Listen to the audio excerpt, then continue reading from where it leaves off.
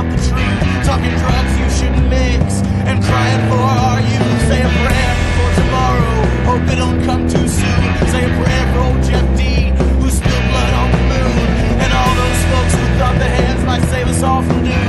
Say a prayer for them, my brothers.